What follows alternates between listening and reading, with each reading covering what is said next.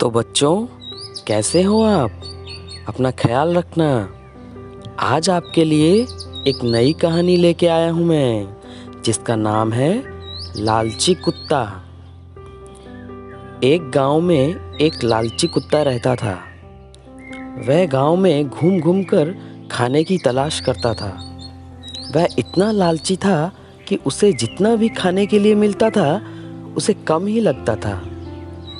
गाँव के दूसरे कुत्तों के साथ वह पहले उसकी अच्छी दोस्ती थी। लेकिन उसकी इस आदत की वजह से सभी उससे दूर रहने लगे। लेकिन उसे कोई फ़र्क नहीं पड़ा। उसे सिर्फ़ अपने भोजन से मतलब था। कोई ना कोई आते जाते उसे खाने के लिए कुछ ना कुछ दे ही देता था। उसे जो खाने को मिलता उसे वो अकेले ही चट कर जाता। एक दिन उसे कहीं से एक हड्डी मिल गई। हड्डी को देखकर उसकी खुशी का ठिकाना नहीं रहा। उसने सोचा कि इसका आनंद तो अकेले ही लेना चाहिए। यह सोचकर वो गाँव से जंगल की ओर जाने लगा। रास्ते में एक नदी पार करना पड़ता था।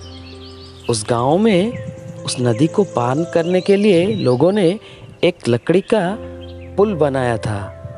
वह कुत्ता रास्ते में जाते वक्त उसी लकड़ी के पुल के ऊपर नदी पार करने लगा।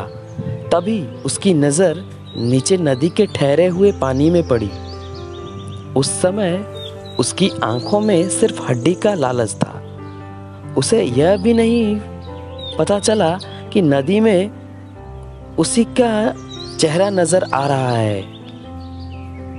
उसे लगा कि नीचे भी कोई कुत्ता है, जिसके पास एक और हड्डी है। उसने सोचा कि क्यों ना उसकी हड्डी को भी छीन लूँ?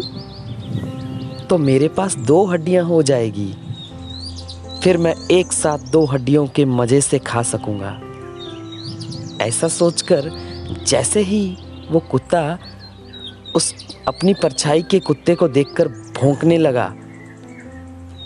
उसी समय उसके मुँह से अपनी हड्डी का टुकड़ा भी पानी में गिर गया और गिर के नदी में बह गया। उसी वक्त वो कुत्ते को गुस्सा आ गया और वो पानी में कूद गया। मुँह से छूटकर हड्डी को पानी में गिरते हुए कुत्ते का होश आया और उसे अपने किए पर पछतावा हुआ।